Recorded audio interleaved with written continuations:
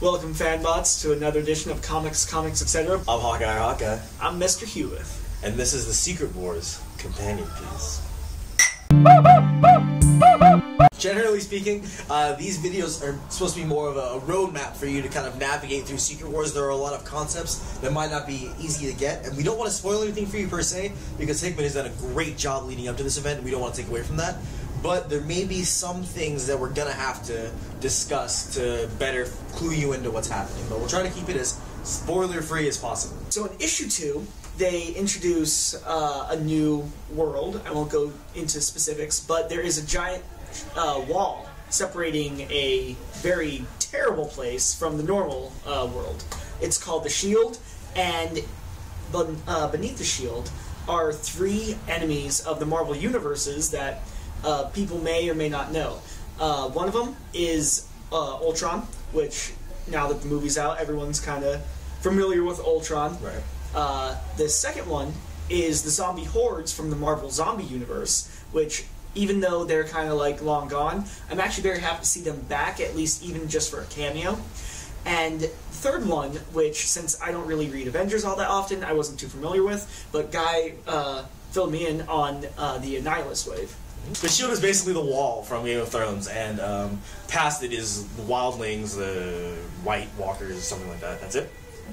Yeah, I'll take it. Um, uh, as Mr. Hueth mentioned, those three groups uh, they do have precedent in Marvel history. Marvel Zombies have their own line of comics, really easy to pick up. They're all self-contained. Um, there is actually some crossover with the Ultimate Universe, but um, it's really easy to pick up.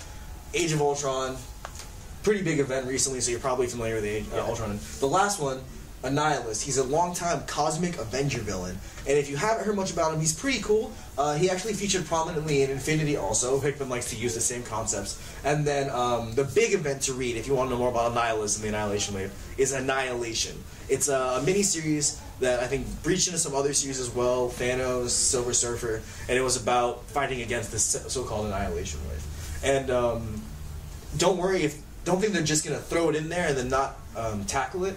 The Marvel Zombies and the Age of Ultron robots are actually going to be in their own series called Age of Ultron versus Marvel Zombies. So we'll get to see more of this land beyond the shield and I how am, that plays out. I am so looking forward to Battle World.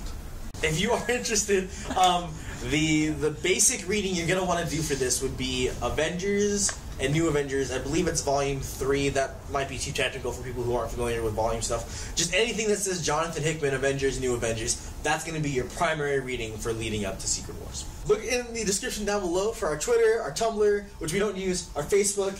And all of our great stuff. Comment, hit us up. We love you. We love each other. We're a bunch of friends. Subscribe to the channel. Let your friends know. Like the video because we're gonna keep doing this. And basically, hit us up with what information you need to know. Yeah. Yeah. And as always, remember who you are, what you are, Don't cause trouble.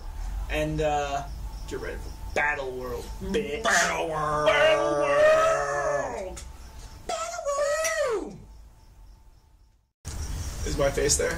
I know, it did sound like that. Is his face there? The Is shit my that exists. Is my face?